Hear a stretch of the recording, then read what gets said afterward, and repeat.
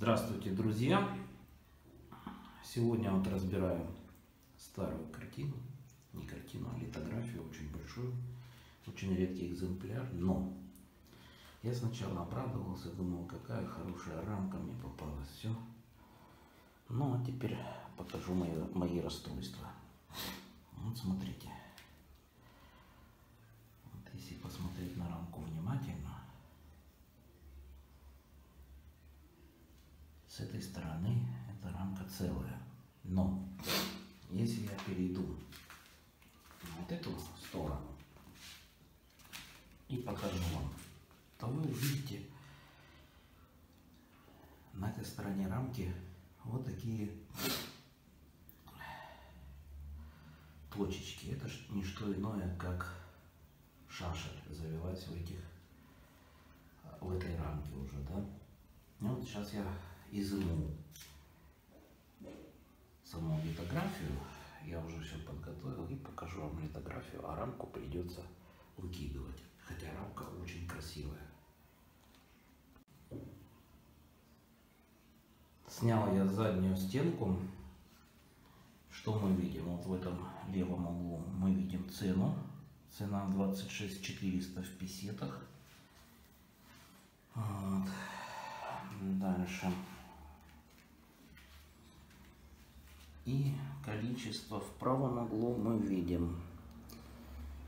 Значит, всего выпущен, выпущено 1516 экземпляров.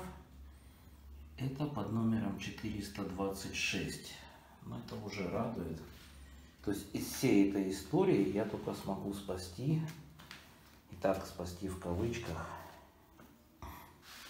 только литографию. И то и то под вопросом. Почему? Потому что литография в одном месте тоже немножко подмочена вот в этом. Да?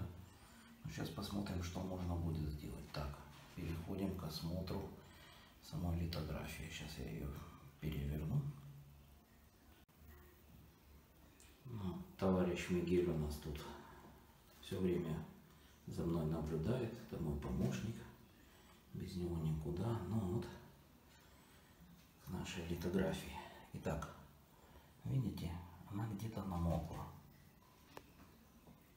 Так что не знаю, что с ней будет. И вот сама литография. Цветная, хорошая, качественная, да.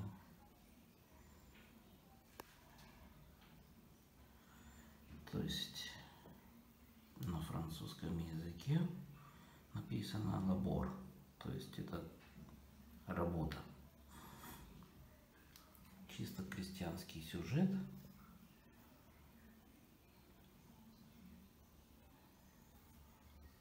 Ну и что, наверное, с ней можно сделать? Это обрезать сверху. Но опять же, если я обрежу, там будет номера срезанные. Но чтобы спасти, наверное, эту литографию придется, наверное связать.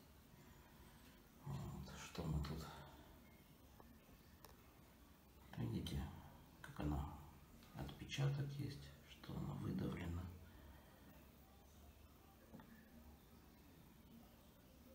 Сам автор.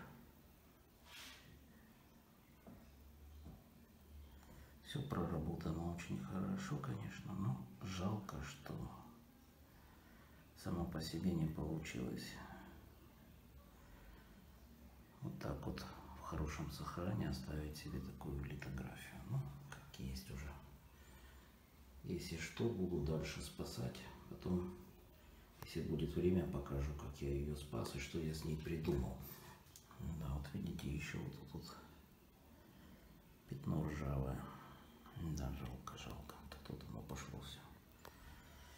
Эх. Ну ладно, всего хорошего, друзья. Оставайтесь с нами. Не забывайте нас, он миг скучает тут, глазки прикрывает, уже спать хочет. Ну, а я буду работать дальше. Все, всем всего хорошего.